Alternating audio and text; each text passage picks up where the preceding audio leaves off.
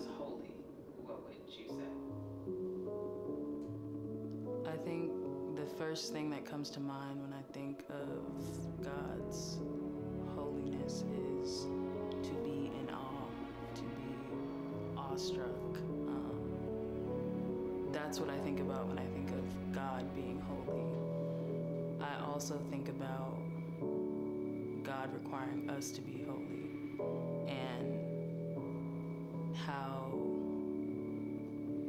comparison, it feels inattainable, but it is the standard. Um, and yeah, just the fullness of Him and like to not be worthy to be in His presence. The holiness is what makes Him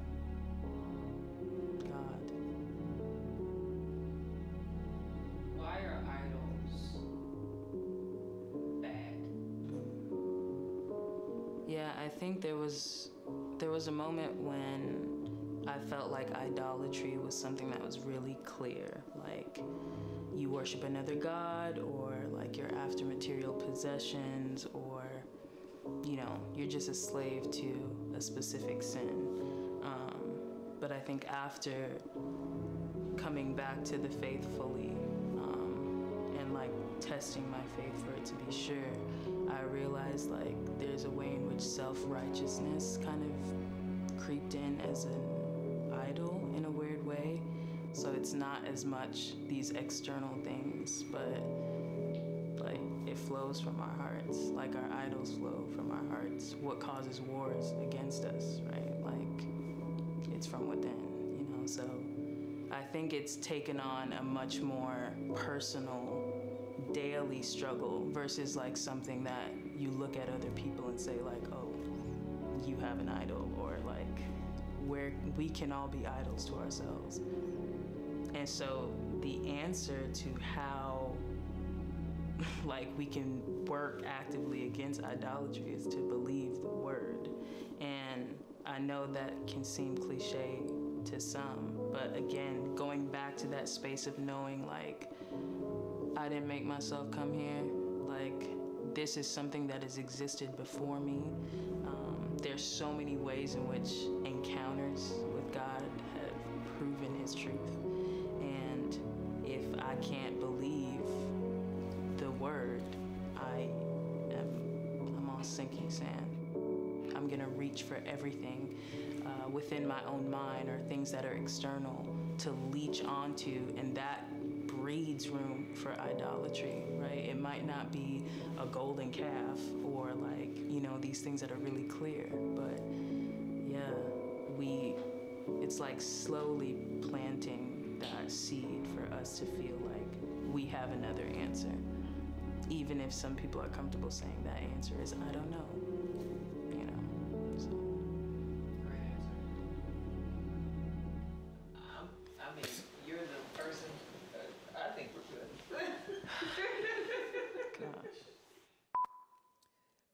Again. How are you?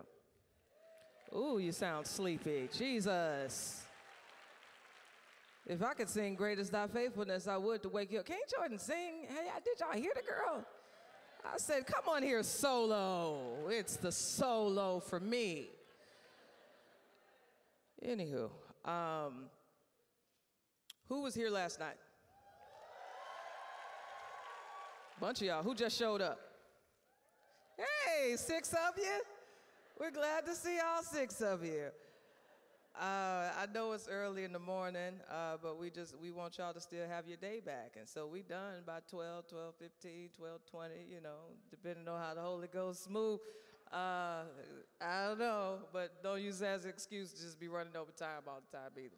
Uh, but anywho, before I start, I just wanted to kind of, this has nothing to do with anything. It's just that I've been watching this documentary on 9 11 uh, all week. Ooh, my earring came off. I don't, I don't really care. Um, anywho, I've been watching this documentary on 9 11 because I'm really, I just really like documentaries. And so Na- Nat, uh, National Geographic has this new one that's on Hulu. Um, I don't remember the name, so don't ask me. Uh, but it's, it's, it's one of the best 9/11 documentaries I've ever seen because they have all of this unseen footage and these different perspectives and all these things. And uh, you know when you're watching something and you feel real spiritual, where it's like they tell a story and it's like, "Ooh, that's a word." I just got to share the word, even if it ain't got nothing to do with what I'm finna say. Okay, so this man, he's uh, he was a firefighter, and he was in one of the towers that had not fallen. So the first tower had fallen, and they were, you know, and the tower was going up trying to rescue all the people. So he said, uh, when the other first tower fell, we figured, okay, this second one is about to fall, so we need to get out. And so they were on floor 20. You know, uh, uh, the Trade Center had 106 floors, I believe. And so they were on their way down with all of the firefighters, and they stopped because they saw this lady who was in the doorway and she was crying and she was just tired and exhausted and it's because she was a she was a 60 year old woman who had walked uh, from floor 73 to 420 and, and she didn't want to go anymore and so they like you you finna come with us. And so she follows all of these firefighters down the different flights of stairs and all these things. So they reach floor number four and susan i don't think that's her name but we just gonna say that. Susan she gave me susan vibes. Susan Obviously, the story ends good. That's why I'm, I'm making jokes. Uh, Susan stops at floor number four and says, I can't go no more. You, you hear the word coming? I, I, can't, I can't, I can't, I can't go no more. Y'all just leave me. And so the firefighter, he a little perturbed. He like, come on now, lady. The other one done failed. We got to go. Do, do you want to live or not? And so in the meantime, while they are trying to convince her to move along and keep going, the, the tower begins to fall. And they said, as it's falling, they said it, it took about eight seconds to fall. As it's falling, they hear the boom from the floors hitting other floors. And he was like, it was like boom, boom, boom, boom, boom, boom, boom. So they're just waiting to die. Then they realize there's silence. And he said, when everything collapsed, we realized that we were in the only part of the building where if you were there, you would stayed alive. He said if, if we would have made it to the lobby, we would have died. If, if we would have got outside right on the, you know, in the parking lot, we, we would have died, but somehow where she stopped,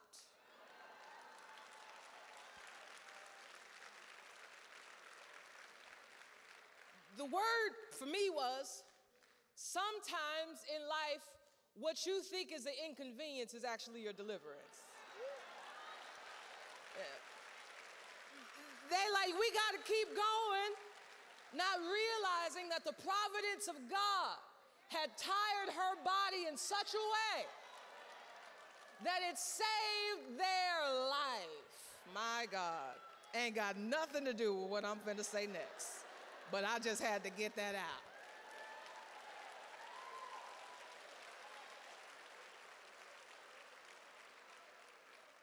I said, I don't even think he know he preaching. He don't even know this word. Anywho, today we we finna talk about idolatry. Pivot. and I, I want to begin this session with a modern hymn about love. Some of you might recognize it, some of you might not. Either way, just follow me. Here's one of the verses. It starts with, Baby, I love you. You are my life. I'm to preach this thing. My happiest moments weren't complete if you weren't by my side. You're my relation and connection to the sun. You next to me, there's no darkness I can't overcome. You are my raindrops. I am the sea. You and God, who's my sunlight, I'm blooming, grown so beautifully. Baby, I'm so proud, proud to be your girl. You make the confusion go all the way from this cold and misty where she thought she was writing. Here's the hook I am in love with you. You set me free. Finish it.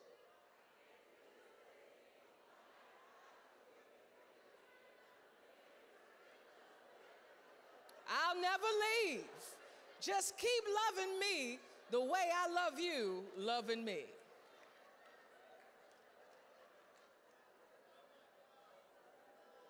Some of us in the room have no idea what's going on. I, I, don't know this, this hymn. They never sang this in my Presbyterian church. This was never in the hymnal.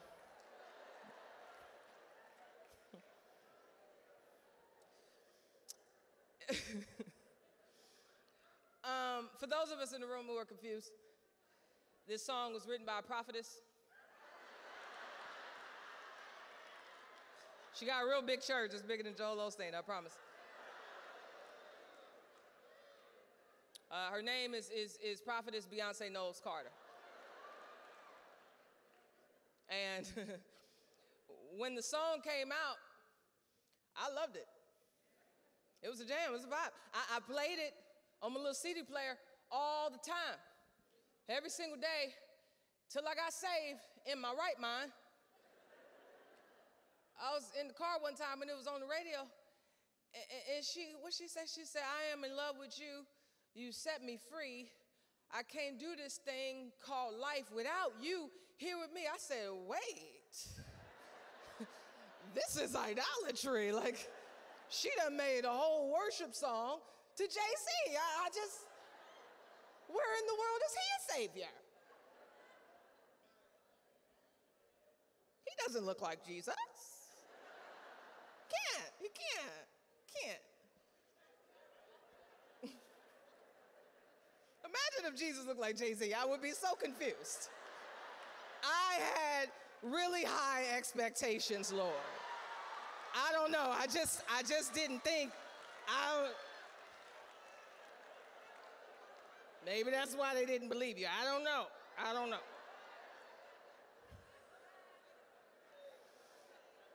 I'm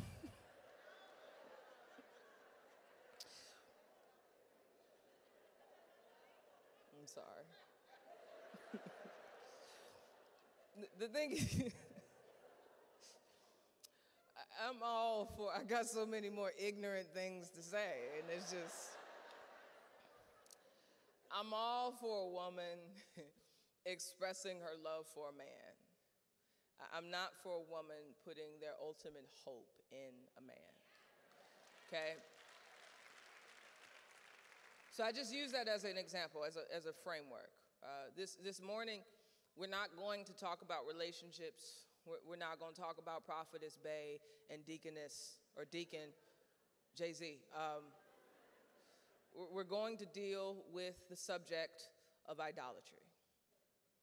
And this is why. Because in, in having any conversation about holiness, to talk about holiness is to talk about God when you get to the, the root or the definition of what an idol is, we are dealing with things, subject, people, objects that we are expecting to be God for us.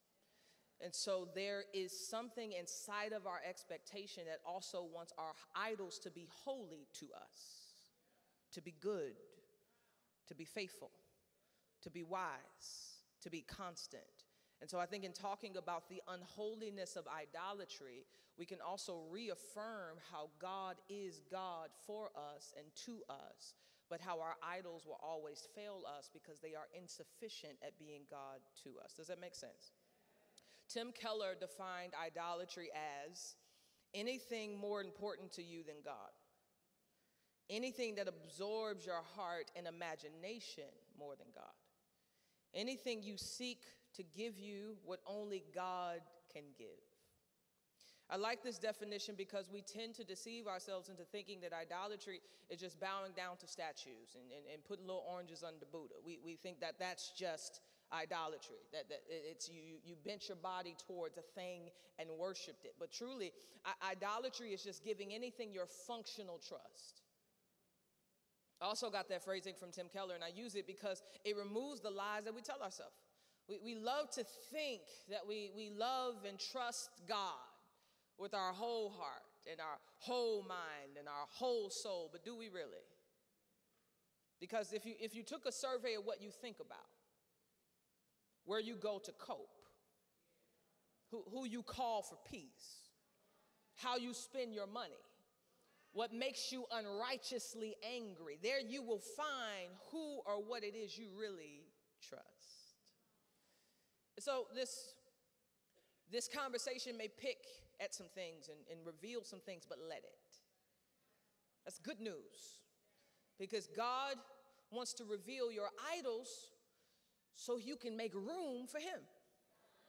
So don't resist the conviction. Don't, don't resist that. We, we want to be free people. Amen. Let's pray. Lord,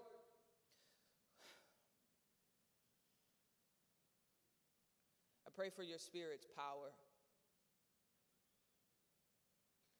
that He would dig deep into us, that He would show us our idols. He, he would show us what we, we look to more than you. God, that you would make it abundantly obvious, even if it isn't something I address, God, that by the power of your spirit, you would bring it to mind. And, and I pray for our, the reaction we, we, we typically have to conviction where we try to suppress righteousness by lying to ourselves and saying, No, but I pray.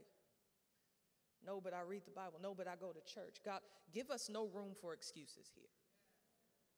Deliver us from evil, all the various ways in which it manifests in our heart, so that we can feel ourselves and be filled with the fullness of God, as Paul pr- prayed in Ephesians 3. Lord, I pray, God, that we would have the strength to comprehend you, how deep and how long and how wide and how high your love is for us. And we can pray this with full confidence because you are able to do exceedingly and abundantly above all that we ever ask or think, according to the power that works in us. And so I pray, God, that you would move.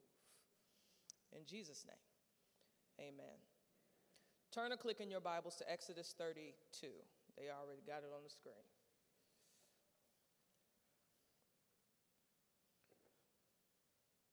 Starting at verse 1, it says, When the people saw that Moses delayed to come down from the mountain, the people gathered themselves together to Aaron and said to him, Up. That's rude. You're going to say, Please, or something. Make us gods who shall go before us. As for this Moses, the man who brought us up out of the land of Egypt, we don't know where he is. That's JHP version. So Aaron said to them, Take off the rings of gold that are in the ears of your wives, your sons and your daughters, and bring them to me.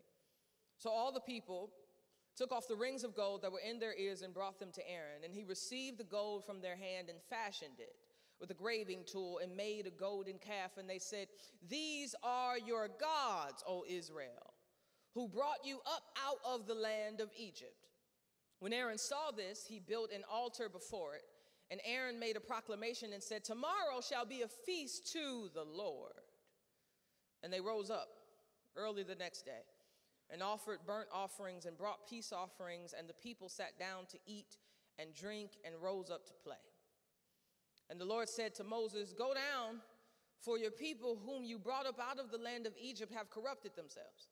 They have turned aside quickly out of the way that I commanded him. They, they have made for themselves a golden calf and have worshiped it and sacrificed to it and said, These are your gods, O Israel, who brought you up out of the land of Egypt. And the Lord said to Moses, I have seen this people. And behold, it is a stiff necked people. Now, therefore, let me alone, that my wrath may burn hot against them, and I may consume them in order that I may make a great nation out of you. Skip to verse 15. Then Moses turned and went down from the mountain with the two tablets of the testimony in his hand, tablets that were written on both sides. On the front and on the back, they were written. The tablets were the work of God. And the writing was the writing of God engraved on the tablets. When Joshua heard the noise of the people as they shouted, he said to Moses, There is a noise of war in the camp. But he said, It's not the sound of shouting for victory or the sound of the cry of defeat, but the sound of singing that I hear. And as soon as he came near the camp and saw the calf and the dancing, Moses' anger burned hot, and he threw the tablets out of his hand and broke them at the foot of the mountain. And he took the calf that they had made and burned it with fire and ground it to powder and scattered it on the water and made the people of Israel drink it. I wonder how fake gods taste. So, what had happened was 15 days or 50 days after Israel was delivered out of Egypt, God descended on Mount Sinai to speak audibly with his people, giving them his law and making covenant with them. At some point, God tells Moses to come up to the mountain so he can write his law on tablets to give to Moses to deliver to the people. So when we reach Exodus 32, Moses is up there with God. He, he's, he's been on this mountain with God for 40 days and 40 nights, waiting on these fancy, special, God written tablets. Say amen if you're catching where we are. So, where we are now in the story is, is most likely uh, uh, immediately after the 40 days is up. The chapter opens up with a fascinating insight about what is happening in the mind of the people as they wait on Moses to come down from the mountain. Verse 1 says, When the people saw that Moses delayed to come down from the mountain, the people gathered themselves to Aaron and said to him, Get up, make us gods who shall go before us. As for this Moses, the man who brought us up out of the land of Egypt, we don't know what has become of him. It is unclear if anybody told the people of Israel how long Moses would be away, but what is clear is that they have grown impatient and they have no desire to wait any longer. So, as a cure for their impatience, to, to cope with what they don't like is happening, they come up with a brilliant idea, so they think, which is to make another God. Which gives me a small caveat. Isn't it interesting how quickly impatience can lead to idolatry? We, we get tired of waiting on the husband, so we sleep with the boyfriend. We get tired of waiting on joy to come in the morning, so we drink a whole bottle or eat a couple edibles instead. We get tired of waiting on the world to come, so we just become worldly instead. The, the Bible is true when it says you have need of endurance. Your impatience will lead you to make fake gods as a reason to cope.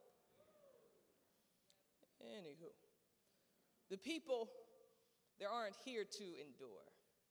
They, they want to move this journey along, so they go to Aaron, who is Moses' brother and the leader in charge, and they demand him to make them gods that will go before them. Which brings me to my first point about the unholiness of idols. Idols are unlike God and therefore unholy because, number one, idols are limited. If Israel was paying attention at all, th- this would have been plain when they used the words make and gods in the same sentence. In any God that is created is no God at all. Because think about this if your God was made, then your God is therefore dependent and needy. It, it, it needed you to become a God, and, and it needs your worship to maintain the perception of it being a God. A needy God isn't self sufficient, therefore, it is always limited in its ability to give you what you actually need. Anybody in a relationship understands this? And if they don't, they, they will soon. Romantic comedies and Disney movies, a couple of the Tyler Perry ones with the bad wigs. So, how you got all this money and you keep buying these bad wigs? It's terrible. Distracting, actually.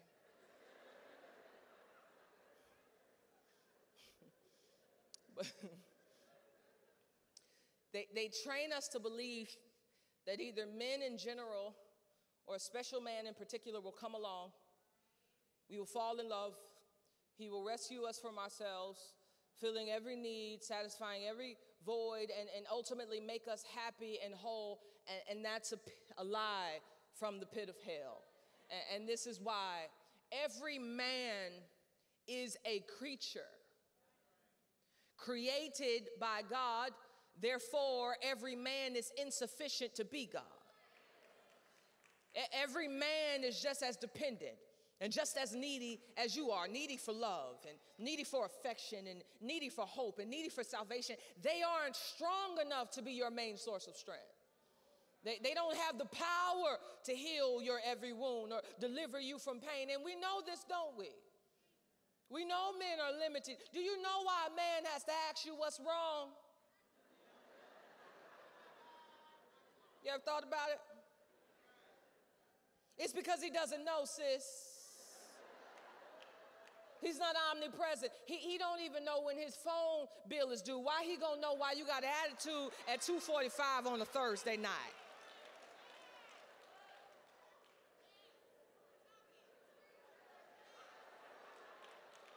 Know all the stats, but just can't seem to find out when to pay your phone bill. You feel some, some angst coming out, don't you? Preston knows what I feel, so I ain't confessing nothing to you that I ain't told him. I don't understand how you know everything Jordan did, but you can't seem to remember to put the milk back in the fridge. That, that- that- I just can't understand what's missing.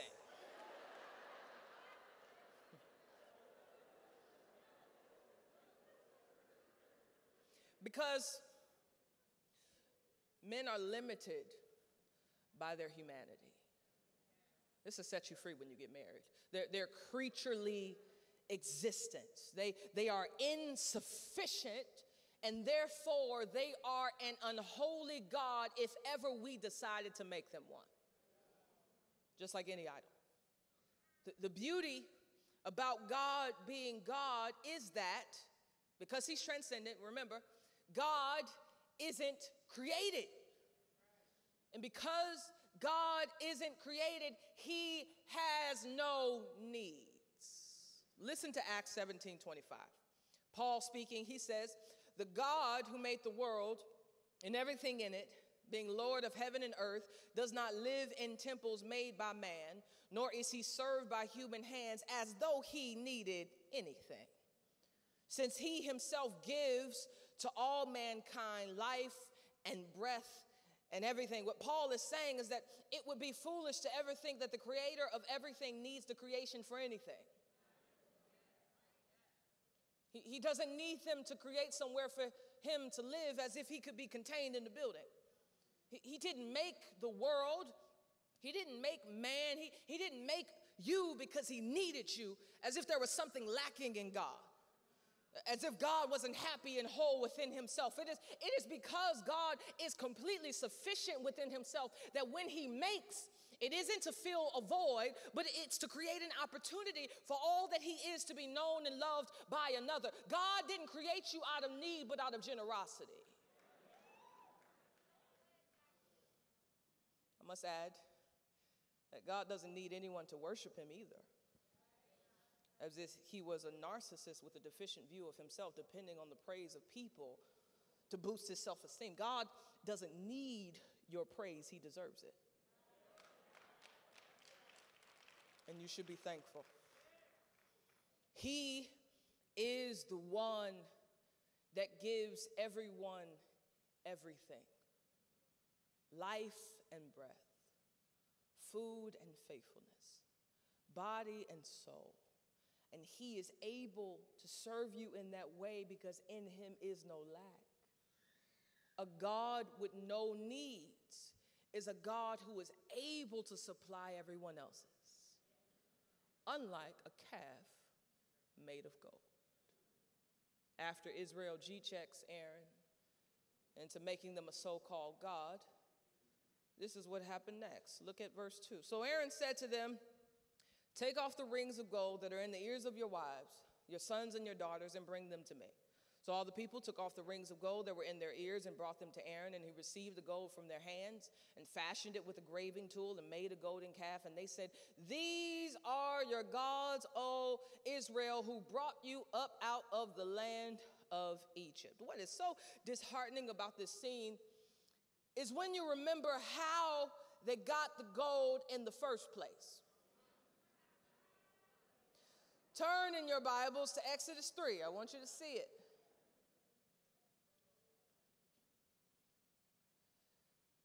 Exodus 3, verse 21. This is God speaking. He says, And I will give this people favor in the sight of the Egyptians. And when you go, you shall not go empty. But each woman shall ask of her neighbor, and any woman who lives in her house, for silver and gold jewelry and for clothing. And you shall put them on your sons and on your daughters, so you shall plunder the Egyptians. The gold jewelry that Aaron uses to make the calf is most likely the same gold jewelry Israel acquired from the Egyptians on their way out of Egypt. But notice the reason they were given the gold in the first place is because God didn't want them to leave slavery empty handed. So he gave them favor so that when they asked the Egyptians to give, they did. God allowed them to plunder the Egyptians because he was kind. He was providing for them.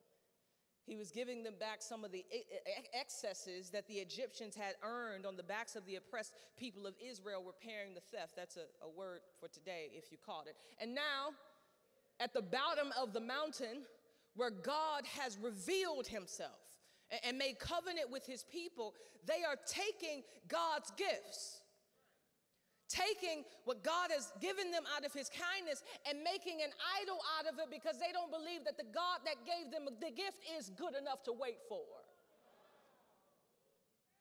Ain't that a word? that most, if not all, of your idols are gifts that God has given to you for his glory. Most if not all of your idols are things that God has given to you out of His benevolence, your marriage, your job, food, your home, your body, your intellect. All of it is a gift that we make a God. But let's keep going. I think it's helpful to know why Aaron made a calf and not a chicken or a fish. You ever ask yourself that? It is most likely a cultural adaptation of what they absorbed in Egypt. In Egyptian culture, one of their most popular idols was a calf slash bull by the name of Apis. Apis was a physical representation of a deity by the name of Ptah. Ptah, in Egyptian thinking, was the deity responsible for creation. Apis, the bull, was Ptah incarnated so that by worshiping the calf, they believed they were worshiping who the calf represented. So, what is probably happening in Exodus 32 is that Aaron ain't been out of Egypt that long. The festivals and the shrines and the images of Apis are still in his mind. So much so that when Israel asks him to make a god, he looks to Egypt for what for inspiration on what kind of animal he should choose to be a physical representation of Yahweh. Not surprisingly, he chooses the idol that would have been highly familiar to Israel, one they would have recognized, one they would have been inclined to worship, one that was supremely venerated in Egypt. So then please expect that your idols are idols that your culture most likely esteems most. Coming back to the story, Aaron takes the gold, makes the calf, and then they have a worship service. Jordan ain't there though. And they say, These are your gods, O Israel, who brought you up out of the land of Egypt. Again, we have Israel using words that should have alerted them to their delusion. The calf ain't been here but five seconds. And now all of a sudden, they saying he's the one that saved them. What they failed to see is that a, cold, a golden calf, no matter how beautiful it might be, it is unholy, unlike God because point number two is idols are always local.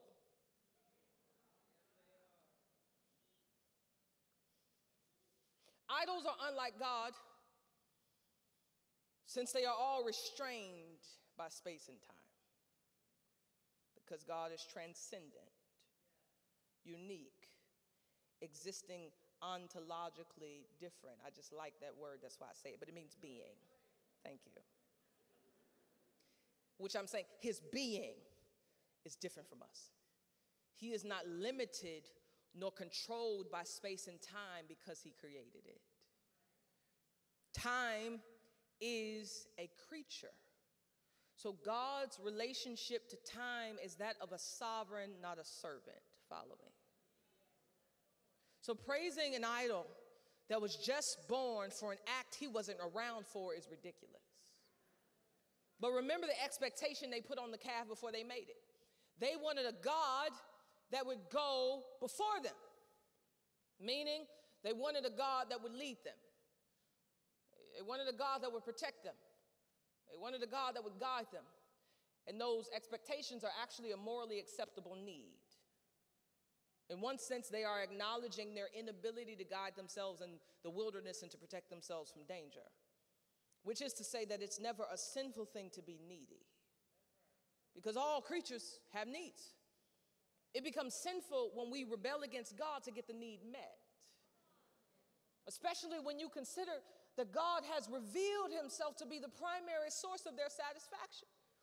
Israel had proof after Israel left Egypt, the way God decided to lead them, to go before them in the wilderness, was in a pillar of cloud by day and a pillar of fire by night.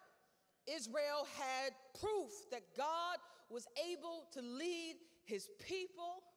They had proof that God was able to go before them. And because God is transcendent, existing differently than us, and therefore not restrained in anything in heaven or on earth and how he shows up, catch this, he was able to reveal himself in the daytime in a pillar of cloud, and at night in a pillar of fire, showing Israel how flexible he was in his leadership so as to manifest himself in the ways that they needed. Oh my God. That golden calf couldn't do nothing but be itself. They wanted it to go before them, but it couldn't even move without their help. Going with them instead of ahead of them. That calf couldn't even tell them what was on the way because it didn't know the beginning and the end. And a God that can't warn you is a God that can't protect you from what's coming. As for the Ancient of Days, before time he was. After time he will be. So whether it's 17, 19, or 2021, God is always able to go before you.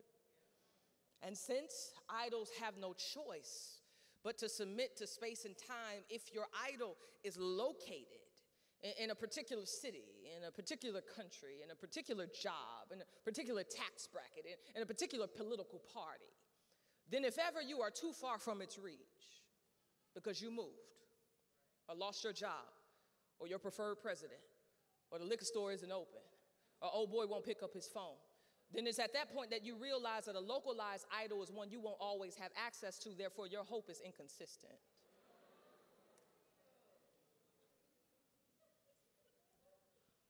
Our needs are constant, they follow us everywhere. So imagine trusting in a wannabe God that can't even meet you where you are. It is futile to place your hope in anything that will inevitably leave you and forsake you, but with God. It doesn't matter where you are. You could be on Mars or in Montana or in DC or Virginia. You can land there and God gonna be there.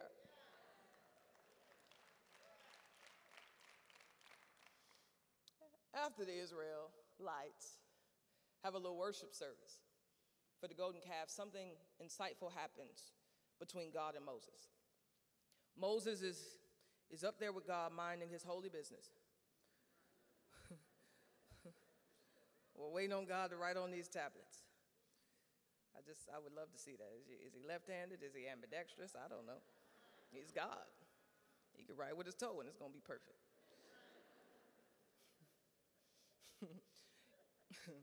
Anywho, if it was 2021 though, Moses might have found out what was happening the, among the people through a text message. But because he's also a creature, therefore he's also limited. There's all, therefore he's also local. He can only be where he is and know where he knows. He wasn't able to be in two places at one time. But God, who is with him, tells him what is happening below them. The Lord says to Moses, Go down, for your people, whom you brought out of Egypt, have corrupted themselves. They, they turned aside and made themselves idols. They, they have made a golden calf and, and worshiped it. They've said that these are your gods, O Israel, who you brought up out of Egypt. At the same time that God is dealing with Moses, he is completely aware of everything that is happening among the people, down to the very words they have spoken. Meanwhile, they are putting their faith in an idol and a calf to lead them when it can't even see nothing. The golden calf might have had ears on the side of its face, a mouth right above its jaw. It might even had a, a rounded skull to simulate the presence of a brain, but even with all the outward symbols of a living being, the golden calf was as dead as a ghost. We've learned that idols are limited. We've learned that idols are local. My third point is that idols are lifeless, which seems obvious. Aaron literally took a bunch of earrings and earring backs. That's probably why it stayed together, you know. Got the little rubber in there. Thing had to stink, my God. They in the wilderness, little sweaty earring backs. I'm sorry. he took a bunch of earrings and earring backs, I'm gonna stand on that point, and, and he made a gold animal. Not a god, but an inanimate object, which might remind you of Genesis 1 and 2. When God took dirt and made man out of it. The process of creating the calf and Adam is similar, except that once God was finished with making man having life within himself, he breathed into Adam's nostril and he became what? A living being. But with this idol, however, he had eyes but could not see. Ears but could not hear, hands but could not feel. Aaron and Israel, no matter how much they worshiped this calf, they had no power within themselves to make this golden calf a real being, let alone a real God. Therefore, if your idol is a real person, then you need to understand that your idol is not the source of life. Everything that they have to give you is borrowed. Everything they have to offer you is most likely a gift from God's hand. So if ever you worship a man or a woman for love or comfort or provision or peace, do know that they were merely a conduit of God's grace towards you.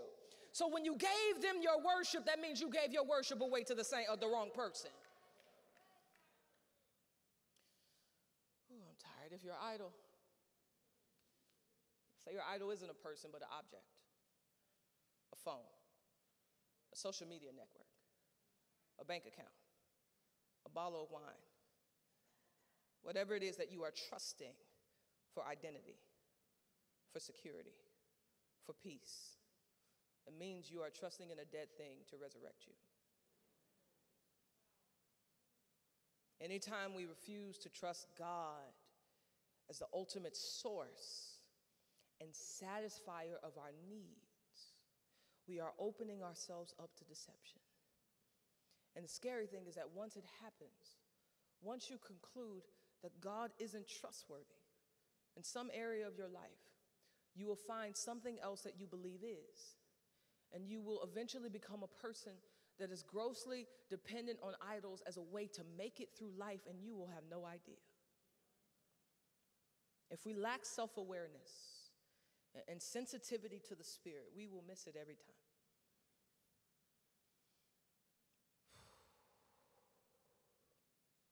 Just like us at times.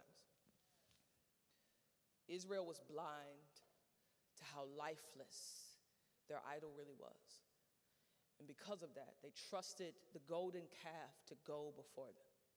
And, and they praised it for delivering them out of Egypt. But this is the thing because an idol has no life within itself, it is an insufficient Savior. What I want us to understand is that the difference between idols and God is this because an idol, hear me, has no life within itself, it cannot save you or serve you. God, who is life and gives life, is the only one capable of satisfying all of your needs. One, because since God is alive, he is actually aware of them. Remember, God's salvation of Israel was preceded by God's awareness of their needs. He said, I have surely seen the affliction of my people. I have heard their cry. I, I know their sufferings. I have come down. All of these verbs is contrasted with idols who cannot see, cannot hear, cannot smell. A God with no life cannot notice you in your room listening to the suffering in your back and comprehend it as pain. An idol can't speak. An idol can't rebuke or comfort when the time calls for it. And if your idols are mere people, we thank God for community, but they may see and speak to the issues of your heart, but what they say and what they see will always be narrowed as, as compared to God, who doesn't have to call you to know how you are. As the fountain of living waters, God presents himself as being the only real true fulfiller of our continual needs in contrast to idols which are consistently categor- categorized in the scriptures as unprofitable or useless. Whatever we trust, or whenever we trust anything other than God to save us from all of our fears, all of our doubts, all of our anxieties, satisfy our deepest longings, provide our every need, we have trusted in an unholy God to be what it cannot be. If you are trusting a God for salvation, they have no power. If resurrection, they have no life. If peace, they don't even have the sovereign control over today's circumstances to help you even endure them. If compassion, they don't have the eyes to see or, or the ears to hear or the, or the mouth to speak. Therefore, they lack the personhood needed to meet you where you are and to take you where you need to go. But if we redirect our faith, on to the true and living God, we will find in him everything we need. If salvation, he is mighty to save.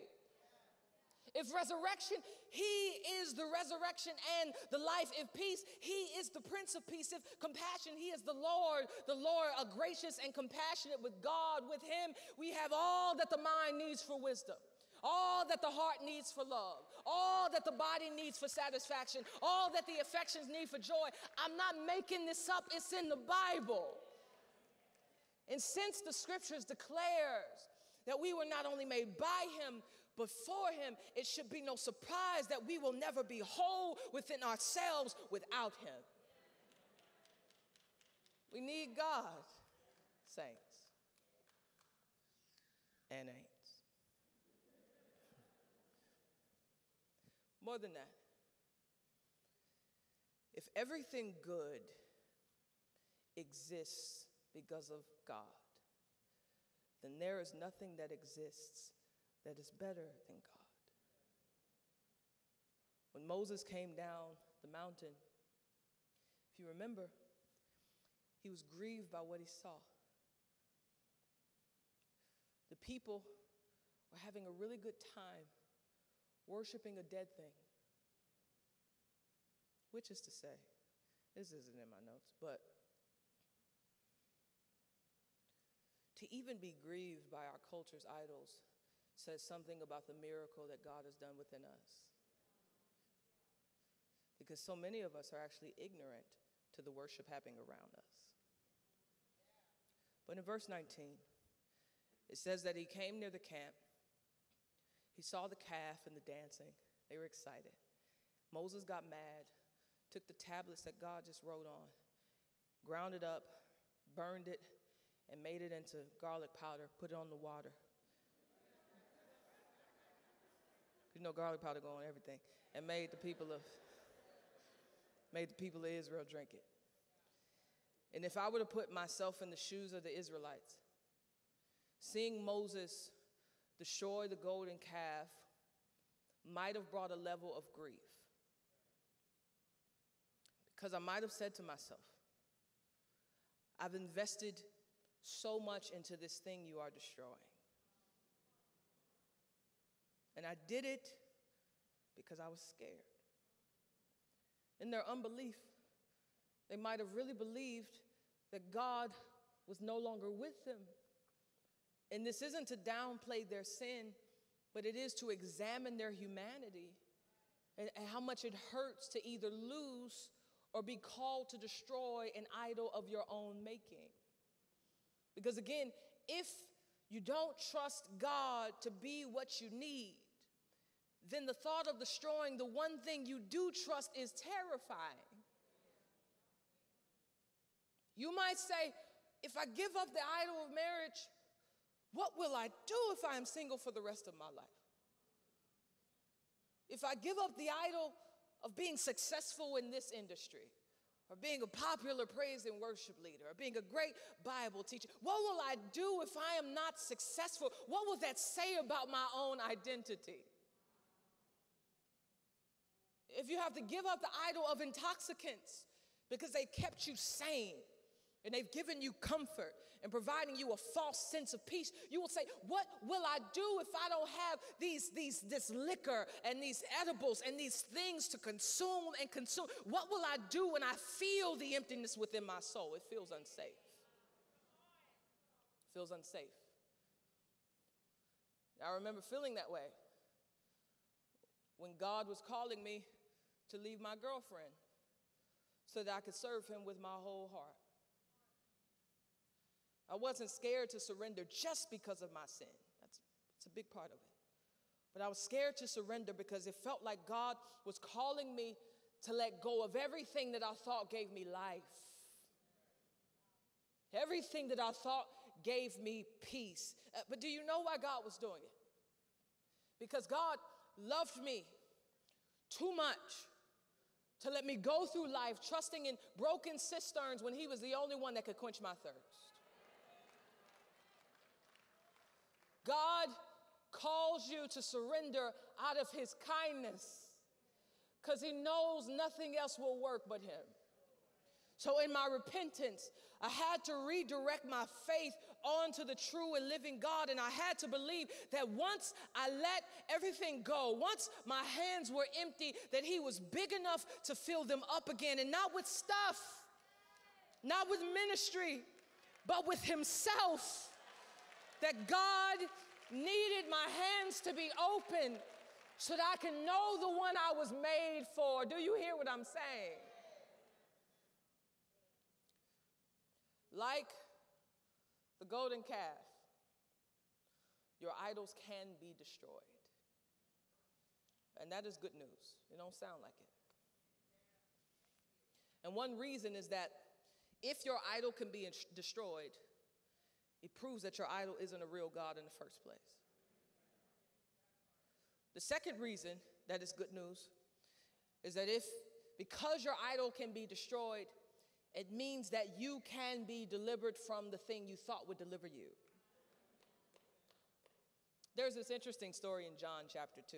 I'm about to close.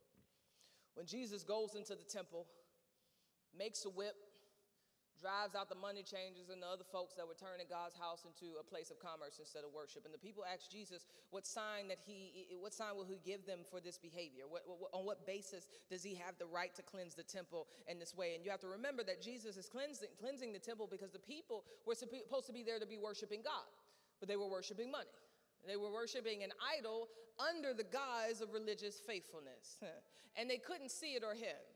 Their idolatry blinded them to the reality of their spiritual state and the God who just interrupted it. So Jesus tells them something that they don't understand. He says, Destroy this temple, and in three days, I'll raise it up. They felt that word. And the people misinterpreted that. They thought he meant he would destroy the building, the actual temple. Even the disciples didn't know what he was talking about. They was always a, delayed until the resurrection.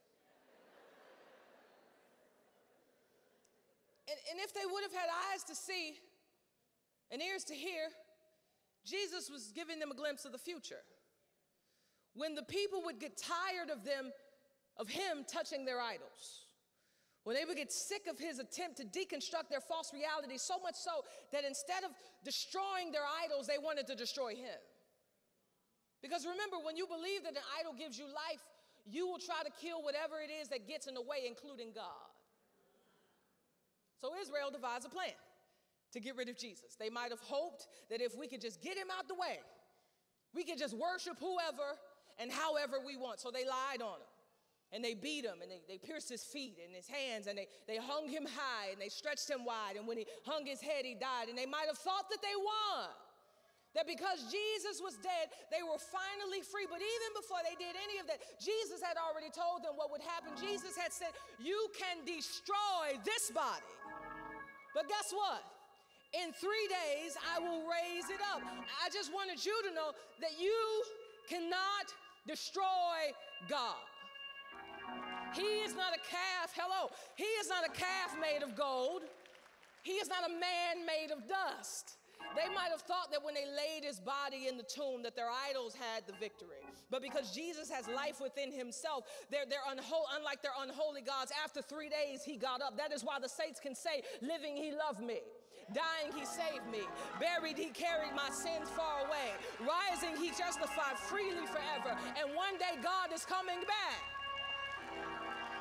Glorious day.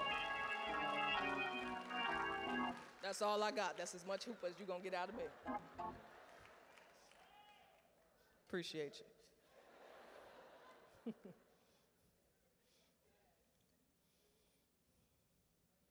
it is good news that your idols can be destroyed. And it is good news that your God is indestructible.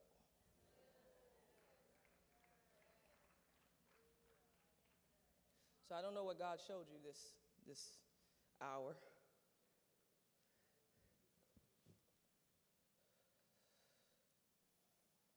It will never profit you to trust anything more than God. It's easy. It's easy. It's convenient. It's quick.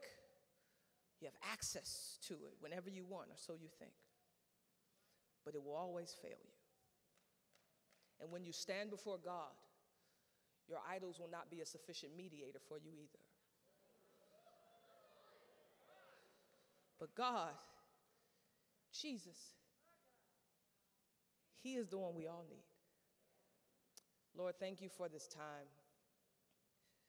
Thank you for your power. Thank you for your grace. I pray that you would give us the courage to lay aside our idols. That you would give us the faith to embrace the hardship that comes with relinquishing things that have meant so much to us. But I pray, God, that we would also receive the blessing that comes with that, that we would have a clean conscience, that he would, we would have a fruitful life and ministry, that we would have that peace that surpasses our understanding, that we would experience what it's like to be free consistently. We pray either, even for our friendships, that we would have people in our lives that notice our idols and say something about it. That we would be within churches that preach the whole counsel of God so that we have context for why and who we should trust in more. I thank you for your love. In Jesus' name, amen.